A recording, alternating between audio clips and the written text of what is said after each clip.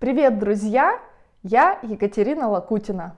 Итак, мы сделали цировку с двух сторон и сейчас мы будем готовить паволоку. Мы отрезаем два куска марли в размер доски плюс 2 сантиметра с каждой стороны, потому что наша марля, когда намокнет, да еще и в горячем клее, она немножко подсядет. Поскольку мы левкасим с двух сторон, опять повторяю я, мы отрезаем два кусочка марли. Марлю покупаем в обычной аптеке. Она продается в упаковке прямо большими такими полотнами. И теперь нам нужно заварить 12-15% желатиновый клей.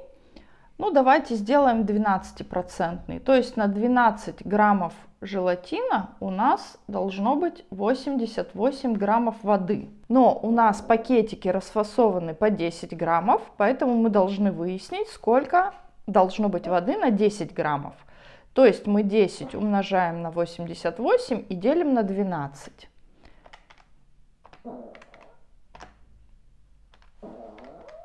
Получается 73 грамма воды на 10 граммов желатина. Но 73 грамма это очень мало. Наша марля очень быстро впитает и нам, возможно, не хватит. Поэтому мы увеличим эту порцию на 2. То есть у нас на 20, это тоже увеличиваем, соответственно, на 2. На 20 граммов желатина на 2 пакетика будет приходиться 146 примерно 147 граммов воды. Итак, завариваем наш клей. Я отмеряю 147 граммов воды. Так, конечно, 100 налить легко и даже 140 несложно, а вот потом с семью начинаются проблемы. Вот так вот примерно. И завариваю наши 20 граммов желатина. И хорошо-хорошо размешиваю. Да, и мы мерили весами, а не стаканчиками. Но на самом деле, если у вас хороший точный стаканчик, вы можете мерить и стаканчиком э, воду. Потому что граммы воды, они, как известно, совпадают с миллилитрами. В кипятке желатин растворяется очень хорошо, но все равно надо его помешать, чтобы вот этих кристалликов не оставалось. В принципе, если у вас есть небольшой погружной блендер, то можно и им воспользоваться. Ну, при должном терпении за две минутки оно и само все растворится. И опять у нас такая образовалась тягучесть, хотя вам, наверное, на экране ее не видно, но ложкой она чувствуется, что это не вода, уже не вода, а действительно желатиновый клей. И в этот клей теперь мы погружаем нашу марлю. Прямо целиком. Я буду погружать сразу два кусочка. Но смотрите, вода горячая с желатином, можно обжечься. И в этот клей мы погружаем нашу марлю. Хорошо-хорошо, чтобы она промокла. Э, к сожалению, вы не сможете погрузить сразу два кусочка, потому что марля тоже должна сохнуть. И уже на торец вы ее не поставите. Она должна будет лежать плашмя. Поэтому мы сначала делаем марлю э, паволоку с одной стороны, сушим и делаем с другой. И теперь нашу паволоку очень аккуратно доставайте, реально горячо. Мы должны распределить по нашей доске. По нашей доске мы ее распределяем. Конечно, тут еще надо понять, где у нас вертикаль, где горизонталь. На тесто похоже. Для теста для пиц, пиццы. Тонкое тесто для пиццы. Так, чтобы у нас не было э, никаких складочек, а все гладенько лежало. И вот видите, у нас вот тут образуются такие пустоты воздушные – от них сейчас нужно будет избавиться тоже, чтобы у нас паволока прилегала к доске очень, очень, очень плотно. А если будут шерстинки собачьи? Шерстинки собачьи. Ну, я думаю, что шерстинки собачьи ничего страшного.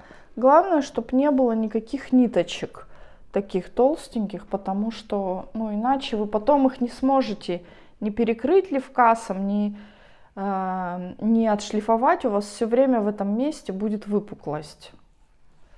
Вот, и теперь мы берем и остатками клея очень хорошо промазываем, как бы приляпываем нашу паволоку намертво к доске, чтобы не было никаких складок.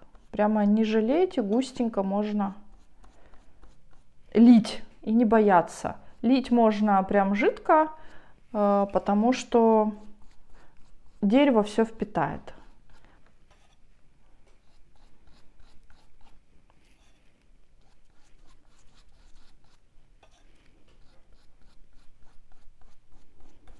И тут, конечно, вам в помощь торцевая кисточка, потому что она очень хорошо вбивает клей в доску.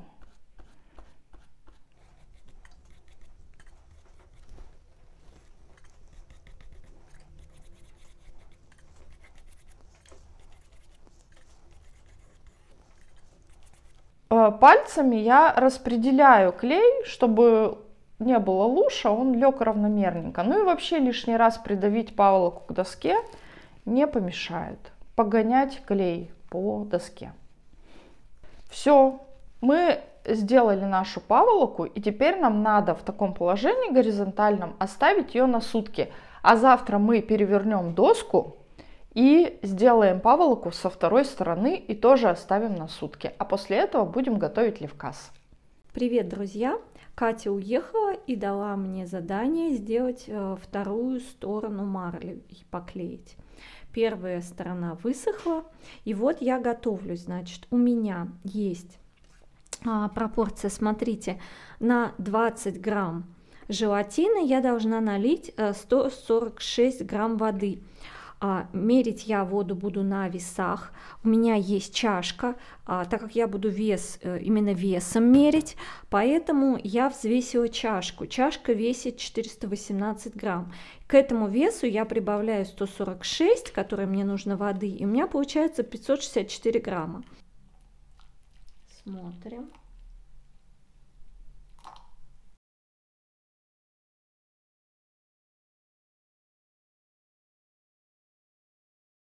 Так, я кидаю, значит, э, так как он, говорят, горячий, хотя я так долго мешала, как бы у меня там все остыло уже, не знаю. Вынимаем, значит, весь этот беспредел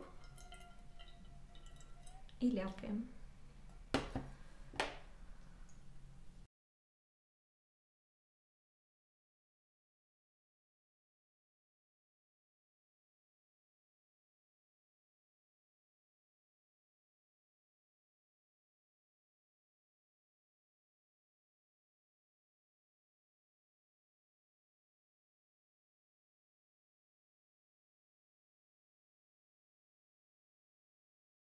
Итак, друзья, после того, как паволока с одной стороны у нас высохла, прошли сутки, мы перевернули доску.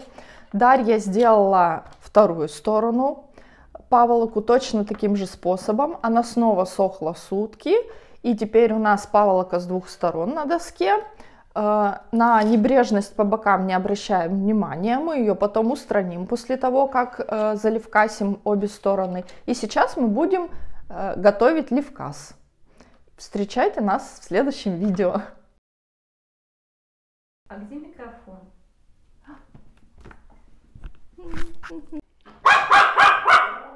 Тише, мне нужно говорить. Устала я что-то с вами сниматься. Ох, это слава так утомляет.